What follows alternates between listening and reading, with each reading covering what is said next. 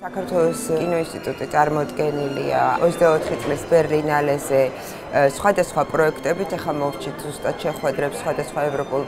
პროდიუსერებთან, რომლებიც გარკვეულ პროექტებს აიღებენ. გარდა ამისა, გვაქვს საერთაშორისო ინდუსტრიის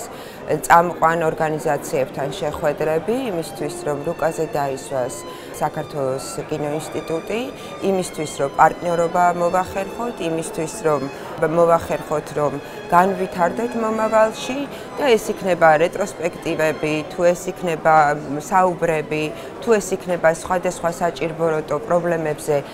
ზოგადი საუბარი ევროპულ კონტექსტში, რომ ამაში მონაწილეობა მივიღოთ. და რასაკვირველია, გადაწყვეტილებებს მიმღები საერთაშორისო ორგანიზაციების პირველ პირებთან გვაქვს ასევე შეხვედრა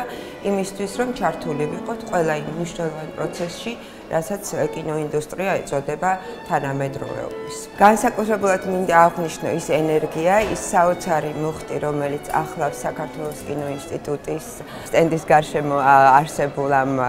ახალგაზრდების და ძველგაზრდების აქტივობას, იმიტომ რომ ყველა ჩვენ, ვინც აქ ვარ წარმოდგენილი, ვართ პროფესიონალები, ზოგი წარმატებული, ზოგი დამწყები, ზოგი ახალგაზრდა, ზოგი არც თუ ისე ახალგაზრდა, იცით ალბათ, რომ ყველა წამოვედით პრინციპში დაახლოებით ჩვენი ხარჯით, ყველა წამოვედით აი ამ